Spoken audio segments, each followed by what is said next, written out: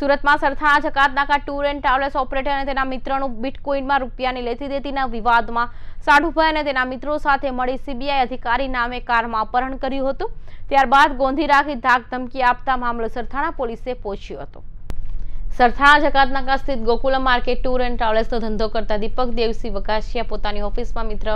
વિપુલ મનુ ગોદાણી અને ભત્રીજા કેતન વઘાસિયા તથા ભાણેજ કુલદીપ ખડેલા સાથે બેઠા હતા ત્યારે સીબીઆઈ અધિકારી તરીકે ઓળખ આપી ચાર અજયના ઘસી આવ્યા હતા તેમની સાથે દીપકના સાઢુભાઈ વિજય રામજી સભાડી અને તેના મિત્ર ગુણવંત અરુણભાઈ રાણપરિયા પણ હતા આ તમામે તેમના બિટકોઇનમાં શું ફ્રોડ સ્કીમ ચલાવો છો એમ કહી જબરદસ્તી ભાડાના ઇનોવા કારમાં બેસાડી અપહરણ કરી ડુમ્મસ રોડ પર એરપોર્ટની સામે રાજન્સ બેલેજિયામાં લઈ ગયા હતા બિટકોઇનના રોકાણના નામે પૈસા લઈ ગયો છે તેનું શું છે પાછળ પાછળ આઈ ટ્વેન્ટી કારમાં ગુણવંત રાણપરિયા અને ભદ્રેશ રામજી સભાડી આવ્યા હતા જ્યાં વિજય અને ગુણવંતે દીપકને તું અમારી સાથે બિટકોઇનના રોકાણના નામે પૈસા લઈ ગયો છે તેનું શું છે અમારા પૈસા આપી દેજે નહીં તો બધાને તકલીફ પડશે અને કેસ કરીને તેના ભાગીદાર મહેન્દ્ર ચૌધરીને ફિટ કરી દઈશું તેવી ધમકી આપી હતી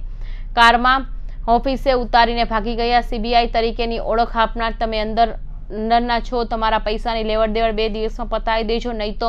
તમારા પરિવારને તકલીફ પડશે એવી ધમકી આપી હતી ત્યારબાદ ફરી ભાડાની નોવાર કારમાં ઓફિસે ઉતારીને ભાગી ગયા હતા ઘટના અંગે દીપક વઘાસિયાએ સીબીઆઈ નામે ધાક ધમકી આપી અપહરણ કરનાર અજયના ઉપરાંત સાઢુભાઈ વિજય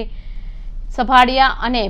ગુણમત રાણપરિયા વિરુદ્ધ ફરિયાદ નોંધાવી હતી સાઢુ એજન્ટના ચારસો દસ બિટકોઇન વેચી દીધા હતા પોલીસે દીપક વઘસિયા અને સાઢુભાઈ વિજય સભાડિયાને કોલ કરી અપહરણ બાબતે વાત કરી હતી પોલીસના ડરને કારણે વિજયને તેના ભાઈ સહિત નકલી સીબીઆઈ અધિકારીઓ ગભરાઈ ગયા હતા જેથી એક ચાલક સાથે એજન્ટ અને તેના મિત્ર કારમાં સરથાણા મૂકવા મોકલ્યા હતા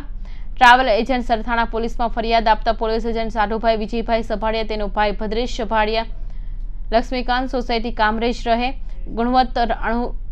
રાણપરિયા તથા સીબીઆઈની અધિકારી બનીને આવેલા ચાર શખ્સો સામે અપહરણ સહિતની કલમો હેઠળ ગુનો નોંધ્યો છે. દીપક વઘાસીએ અરજી કરી છે કે તેના સાઢુ વિજય તેના વોલેટમાંથી ચારસો દસ બિટકોઇન બારોબાર વેચી દીધા છે. દીપકે અરજીના તપાસ ક્રાઇમ બ્રાન્ચ કરી રહી છે, જેમાં બિટકોઇન લેનાર અને વેચનાર તેમજ સાઢુ વિજય સહિત નવ જણા સામે વિરુદ્ધ અરજી કરવામાં આવી છે.